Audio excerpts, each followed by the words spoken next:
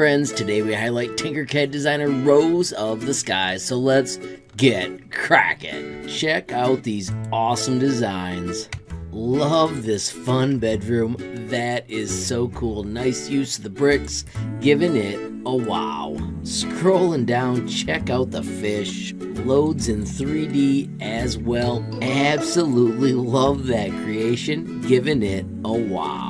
Finally, friends, a gift for Squirmy Worm. That is so cool. It's a walking plant in pixel form, giving it a wow. Remember, friends, check notifications, click, click, then right click open a new tab to see what other users are creating and check it out. I got a note. How cool is that? Friends, make sure you're sharing those reactions and, of course, have a glorious day and keep tinkering.